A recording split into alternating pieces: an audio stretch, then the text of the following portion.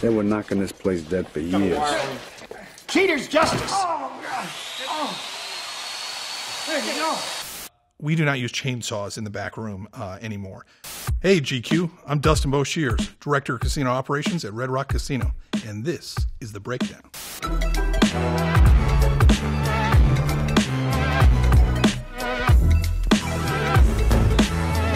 First up, Casino Royale. With this chip exchange, we enter the final phase of the game, which means no more buy-ins. The big blind is now $1 million. Basically, what they're saying is that you can't buy any more cash. Whatever's on that game right now in chips is it. You got to keep playing the game until somebody wins. Four players. So the game they're playing right now is No Limit Texas Hold'em.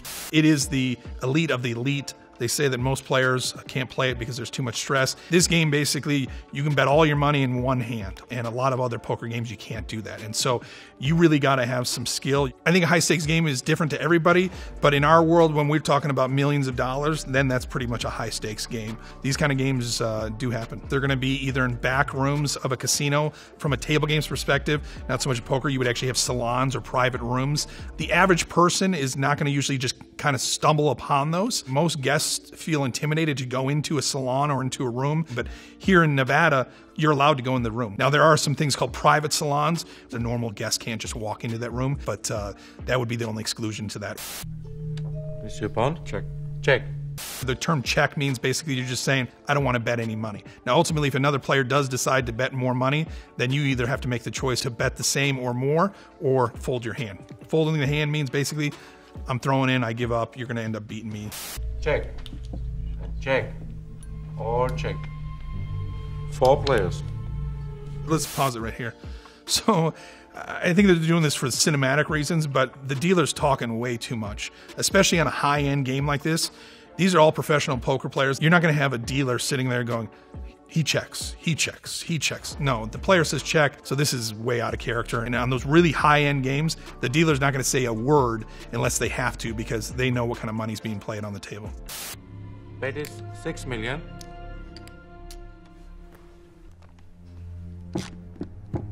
Those blue square looking rectangular things that you see on the table that they have, those are actually called plaques. They're usually used in really high end salons where they'll use them as a hundred or even a million dollars uh, representation, but it's basically like a chip. It's very, very common in Europe that they use those, but we rarely see those. And I, I don't know if I've ever seen them in a poker room here in the United States other than really obscure time. Race. Raise. 12 million. Heads up. With this kind of high, high end, this is the kind of game you would expect is a no limit Texas Hold'em. It's definitely one of the more difficult poker games. The goal is to get the strongest hand or the best hand out of all the other players that are actually playing in that round.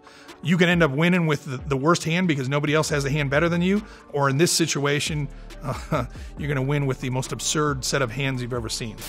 James Bond is trying to determine if he's bluffing, meaning you're acting that you have a really strong hand that the other player can't beat. Like this long delay here where they're staring each other down, the game's like set. There's nothing else anybody can do. There's no more action that anybody can do. Basically, everybody on the table's all in at this point.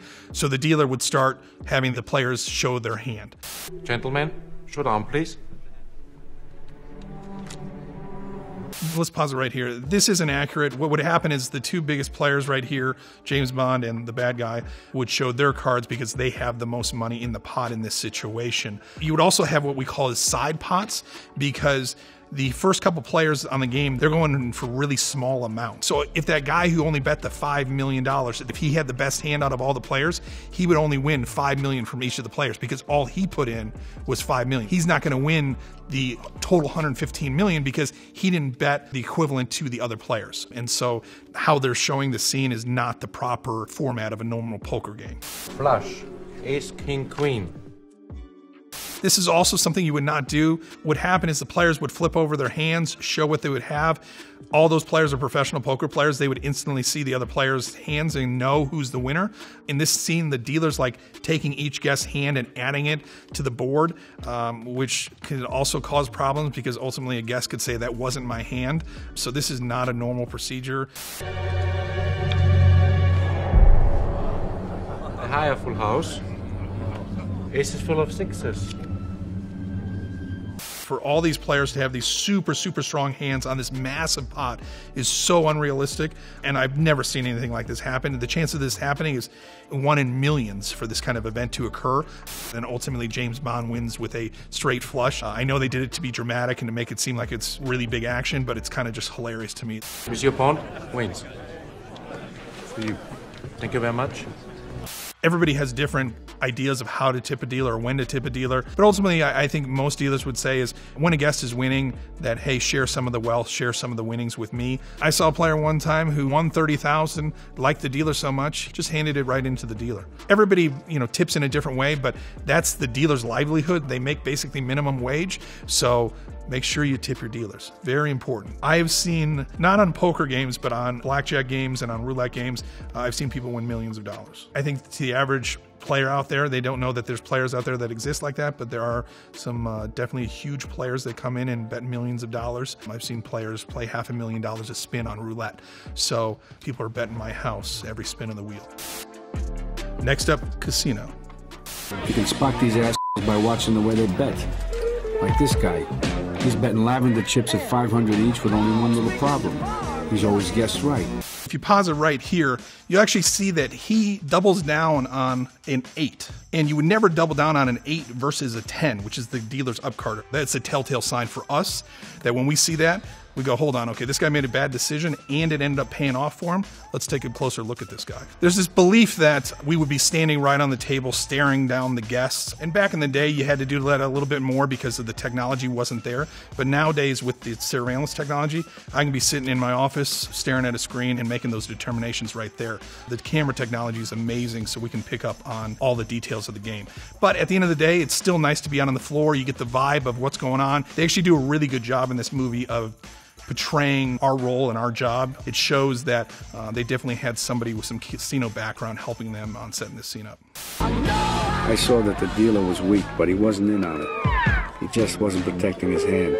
We do similar things. We'll, we'll try to play it off like, hey, I'm, I'm tying my shoe or I'm looking at something else, but I'm actually paying attention to that suspect. I will do things to make sure they're not paying attention to me. If I see a guest looking at me and what I'm doing, I become suspicious because at the end of the day, people come to the casino to gamble.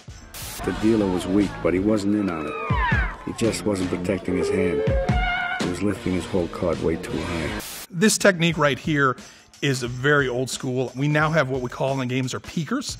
It's a little mirror that you actually slide the card into, so you never have to bend up the card anymore like this. This is a traditional way. Actually, how this dealer's doing it, he's doing a very poor job. Anybody standing behind the game or slightly off to the side is going to be able to see that whole card. And having that whole card changes the whole dynamics of the game and gives that player that huge edge. The proper way of doing that would be basically taking the hands and bending this, cupping it so that you couldn't see from any angle. Here's this guy reading the dealer's whole card and signaling his buddy at this table.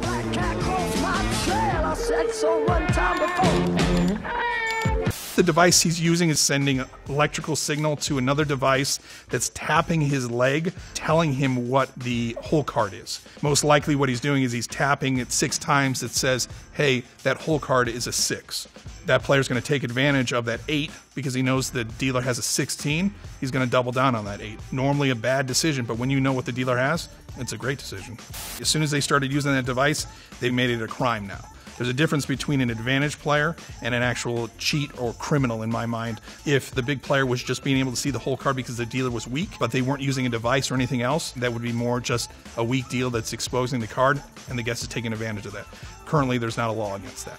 The technology that we're seeing in this is so old. The new technology that we see today is so advanced. From cell phones to miniature cameras, we hear about all these new scams and new ways of people cheating us. One of the ways that is common is uh, marking or daubing cards. On the back side of the card, um, or this part here, you would end up either making indentations with your nails or you would use a substance that you would put on the card itself that isn't visible easily or it can't be seen with the normal naked eye. Nowadays, they have actually contacts that people will put in their eye that see a specific uh, color or ink. There's also what we call player dealer collusion. This is where a dealer and a player work together to cheat the game. So, what they're going to do is actually peek the card. So, they're going to just expose this very corner right here so that the guest can see is this a card I want or I don't want. There's hundreds of ways people will cheat, but at the end of the day, the, the one that scares me the most and scares the other operators is the scam we don't know about, that new scam that somebody's come up with that we're waiting to discover. And it's our job to try to uh, prevent it at all times. Once I discover somebody's cheating, it's very important that we actually have all the evidence that we need before we go and confront that suspect. Back in those days, they didn't have to worry about that. They just take the guest off the game, pull them in a back room, and uh, those guests would talk real quick. Nowadays, you have to take very uh, soft approach to everything. I like to always tell people when they hear about somebody cheating or somebody getting arrested at a casino that it would be better for you to reach into the actual rack where we keep our chips, take $100 and run out the door than it would be for you to cheat with $1. Cheating is so much more frowned upon and is ultimately in the courts is usually much harsher. It is something you do not want to do. Basically, they're using this as a distraction so that the two suspects won't go and run off or, or feel the heat when the security starts to surround the table. We don't really do that these days. What we do is we usually just kind of avoid the table that we're looking at or the suspects. And then ultimately, when we're ready to go in, then it's a fast thing so that suspect didn't even know that we were coming in after them.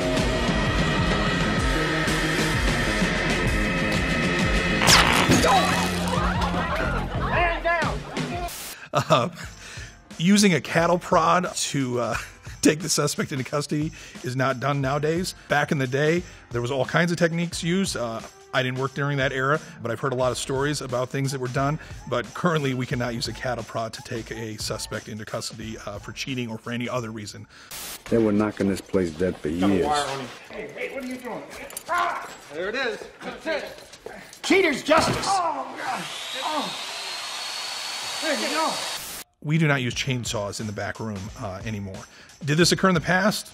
I've heard stories of it. People that accidentally fell downstairs and hammers were taken to the hands and other things. Um, but currently, obviously, in the environment we live in today, we handle everybody in a professional manner. But this is, once again, this is a great depiction of how things used to be here in town. In fact, the movie Casino is based off of real life characters. When I came up in the business, a lot of the guys that taught me that had been in the business 30 plus years worked alongside those guys, and knew those guys personally. Uh, now everything's on the up and up, and we're highly regulated with the Gaming Control Board and we're run by corporations. But back in the day, the mob did run things here in town. Next up, The Hangover. Hey guys, did you find it? Nope. But check this out.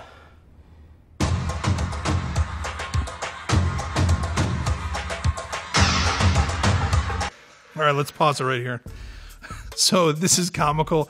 The character here is attempting to count cards. You can see him talking what the count is with his lips. This is like the most amateur level of card counting you could be at, where you would be like plus one, minus one, plus two with your lips. This is something you just do in your head. You don't actually voice it out. Card counting is a technique that has been around for a while, but basically what it is is you're keeping track of the small cards in your mind. When you have a two through six, that's considered a plus one. And when you have a 10 or an ace, that's minus one. As the cards are played, you're keeping track of that count. And when the count gets real positive, real high, then you would increase your wagers because it's more favorable to you, the player. There are going to be more 10s and aces coming out. And then as the count goes negative or below zero, those cards are going to be a lot of small cards and it's going to be less of an advantage for you to play. Card counting is completely legal in the state of Nevada.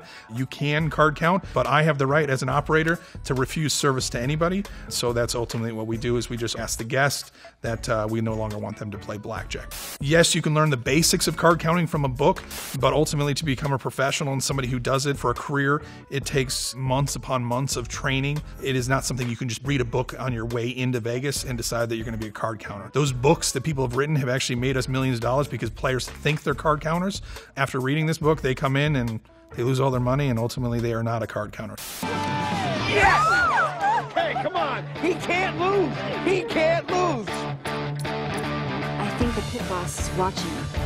Uh, we don't take a clipboard and put it up against our face when we're talking to each other in the pit like that. Even if we're talking about a player that we're suspecting he's doing something or card counting, we would just talk normal. We'd probably not even be looking in your direction so that you wouldn't even suspect that we're talking about you. But the noises in the casino really make it hard for anybody else to hear conversations that are a couple feet away.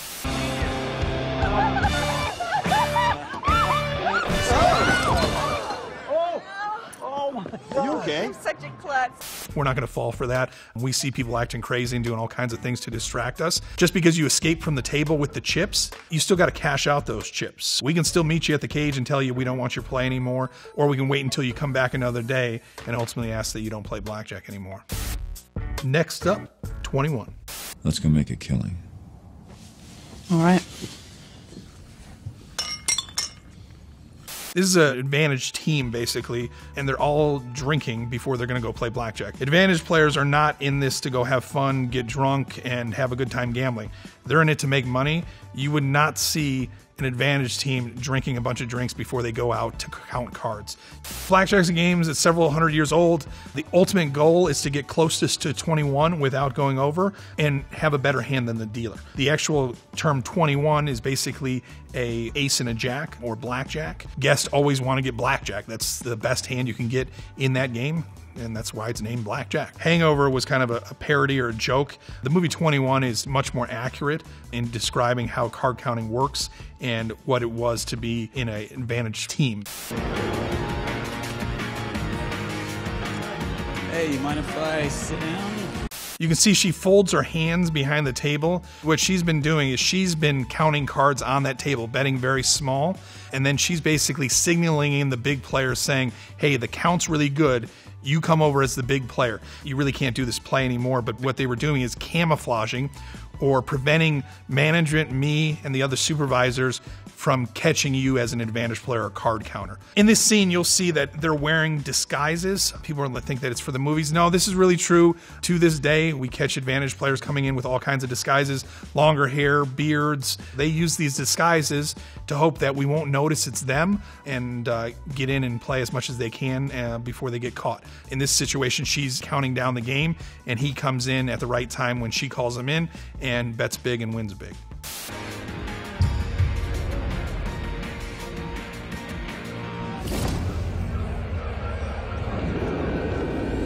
So the signaling they're using would be something that I may not pick up on the first time, but after a couple of times watching this player, it would be something we would definitely notice. It's just like anything else repetition, if you see it over and over again, eventually you'll see it as something that you want to take a look at. Does he know this female? Do they walk out of the casino at the same time? Do we notice them anywhere else in the casino? That's another way we catch people is they may act like they don't know each other on the table, but then they walk out in the parking garage and get in the same car. Advantage players try to be sneaky and, and it's kind of a counter surveillance situation. How do we catch card counters? I am a card counter basically. We learn to count cards just as good as they do. We count the cards um, as they're counting them and then determine if their bets correlate with the count. And that's ultimately how we back them off. And I will also put this myth to bed. The belief is that you can't count down a six deck shoe or an eight deck shoe. A shoe is basically a device that holds the cards that we deal the cards out of. We can count down a 100 deck shoe if you wanted to. So it doesn't matter the amount of decks in a shoe. An advantage player can count down as many decks as you put out there. Next up, swingers. Start with a, know, a 300.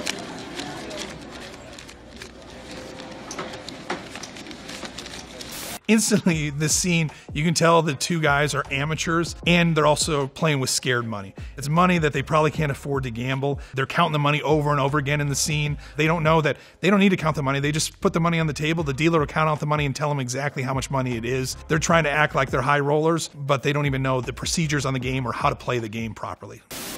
On the table. Excuse me? You have to lay it on the table. I don't want to bet at all you're not allowed to hand me money, sir. You have to lay it on the table if you want me to change it. We can't take anything out of a guest's hands. And this goes back to game protection or possibility of cheating. And so we make sure that there's no hand to hand touching of anything because dealer player could pass something off to each other that could be used for cheating.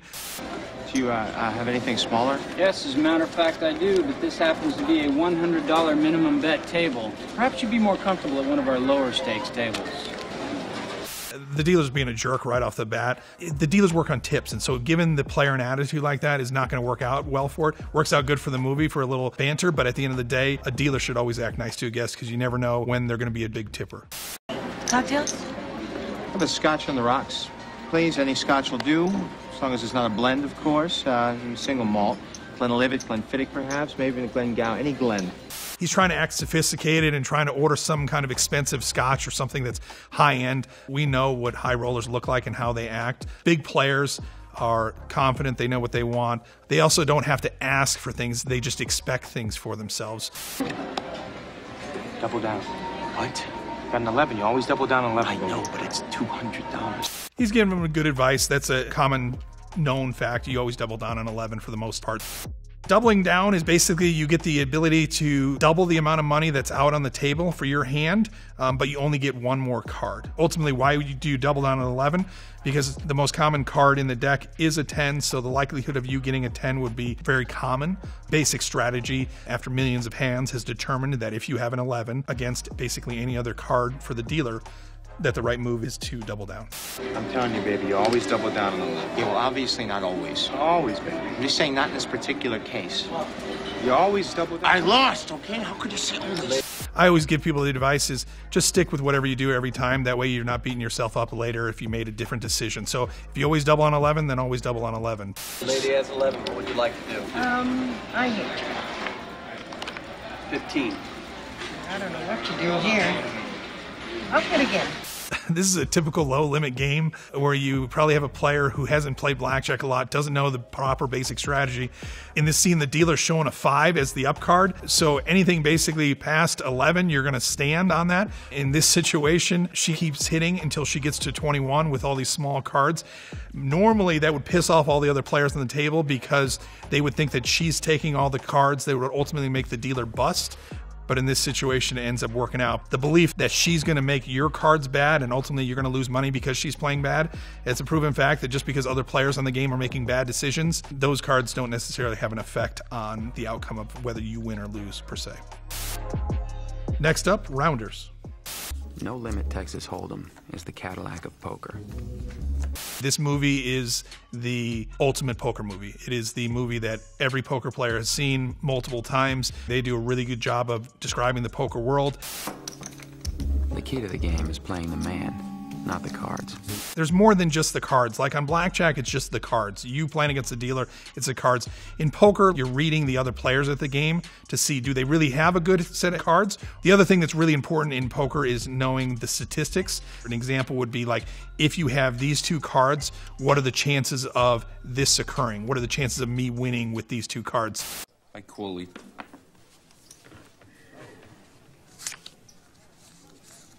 So real quick, let's pause it right here. With a high-end game like this, even though it's in an underground casino or underground poker room, most likely a player would not be dealing his own cards, especially with that kind of money. They would have a dealer on the game that would just be dealing the cards to the players.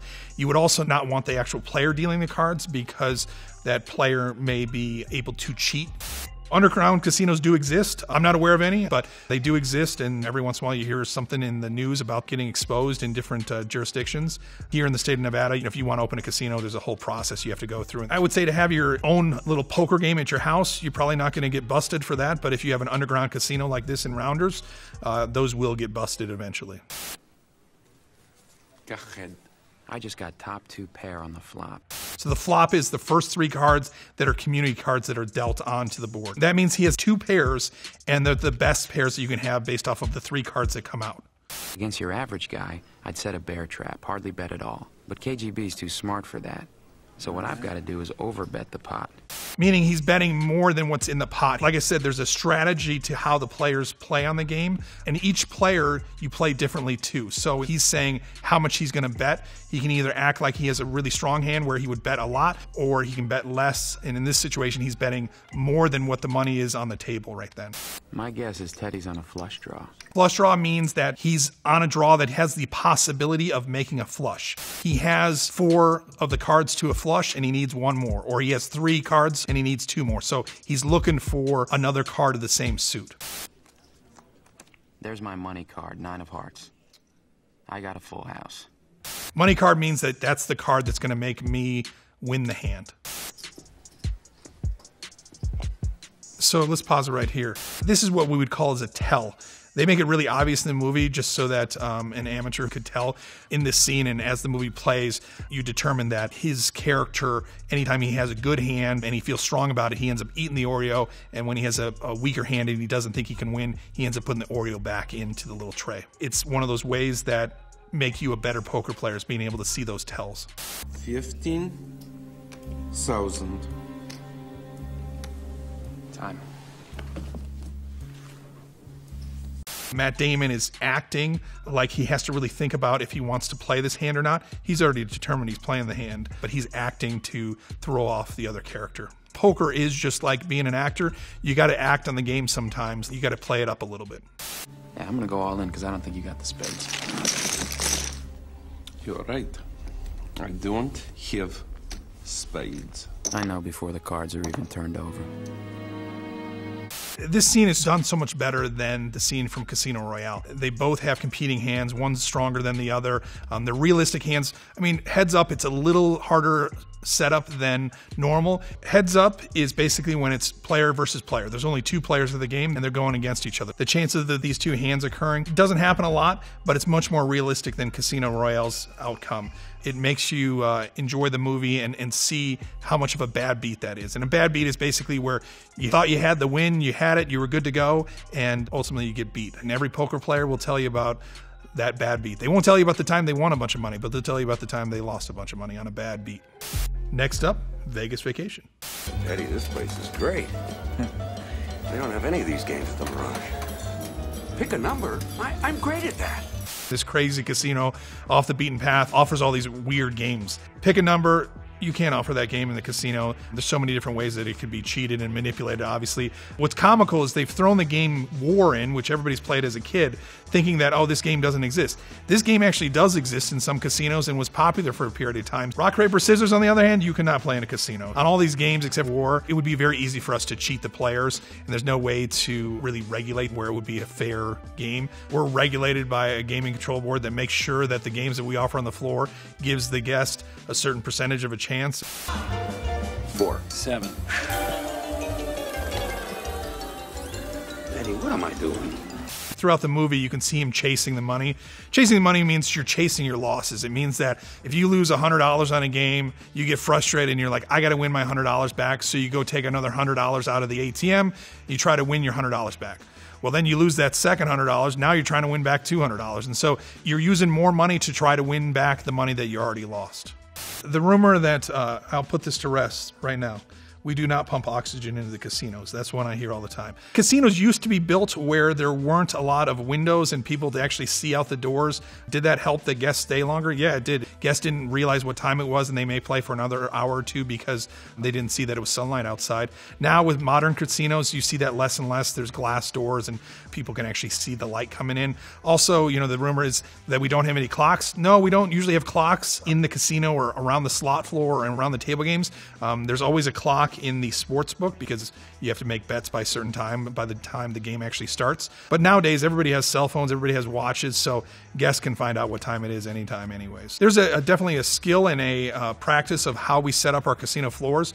Most of that is set up for the guests so they can find games easier. We want to have our best games forward so that guests can find them. So there is a lot of thought and work put into where we put slot machines, where we put tables on the floor to optimize the guest experience. If a player is willing to go to a casino and a casino like this actually existed, uh, the player doesn't deserve to have the money that's in their pocket. They're going to get taken every time on these kind of games. It's comical. It's a great part for a movie, uh, but it's so far from the world I live in and the world I work in. Clark Griswold in this scene uh, should just quit gambling. Throughout the movie, it's a telltale sign of somebody who has a gambling problem. So uh, Clark Griswold should stay out of casinos. Next up, Ocean's 13. You get reception in here? That's impossible. Not with this phone. Surveillance rooms don't look like the room in Ocean's 13. The surveillance room is highly secure. There's only a very limited amount of employees that can go in there because it has access to basically all the information about the casino on the cameras. So only my position, casino shift managers and above usually have the authorization to even go in those rooms. Server one is going down. Server two picking up interference. Everyone in this room, empty your pockets now. What's all going? This would not happen. There's nothing that shuts down the room and locks down the room. They can pick up a cell phone, they can pick up another phone and make the phone call if there is something going on. They would make a call to us if they were to lose surveillance coverage. We're actually required by Gaming Control Board to always have surveillance coverage. So if we were to lose it, we would ultimately have to contact gaming and most likely shut down the games. Snake eyes, all of them. It looks like he puts down hundred to a hundred and fifty thousand dollars on Snake Eyes. A Snake Eyes is aces or one one on the dice. No casino that I know of would take that big of a wager. And right away, if you saw that, you would go, "There's something super suspicious going on." You would stop the game. You wouldn't let it go forward.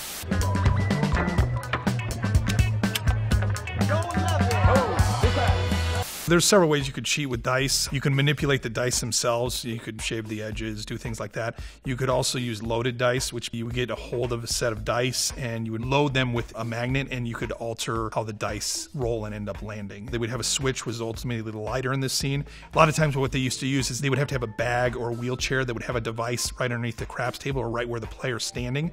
They would use a switch of some sort to turn that on and then ultimately change how the dice would roll. What's more common than using the loaded dice is what we call dice sliding. The team or three or four people, basically what they do is they make a distraction so that everybody on the table is looking at them so that this one player can take the dice, slide them down the table where they don't tumble and they stay on the number that he slid down that table. That's much more common than using loaded dice, but we have a lot of procedures in place to prevent that. Every new stick of dice, we mic them, which means we check the balance of them and make sure that the dice are even on all the edges. It's the same with when we go and open a deck of cards. We make sure all the cards are there, that there's no markings on the cards, and that there are cards. We keep that stuff real close and under uh, a lot of scrutiny because we know that if somebody gets a hold of one of those items, a gaming equipment, they could do a lot of damage to the casino with that. The system's in lockdown. All calls in and out of this room are secure. Unfortunately, it's the system that secures them. Again, sir, it's in lockdown. It wouldn't happen in real life where one person gets locked in a room and it prevents them from stopping all these people from cheating the games. How often do people try to rob casinos? Nothing like Ocean's 13. What they end up trying to do, the most common one is what we call a snatch and grab. A person will come up to a blackjack table or craps game, jump over the top of the table, grab the chips from the rack, and then attempt to run out the door with the chips. This happens, and sometimes there's a group of people that do it for a period of time, and the, several casinos get hit, and then eventually the police or the gaming agents catch them and put them in jail. These big ones where they're going to knock over the whole casino and do this, it's just too hard and too unrealistic to actually happen. It would be more realistic for you to rob the Brinks armored truck that's picking up all the cash than it is for you to rob the casino. If you're going to go rob something, go rob somewhere else. Don't rob a casino. Thanks everybody for hanging out and watching those clips with me. Hope to see you in the casino soon.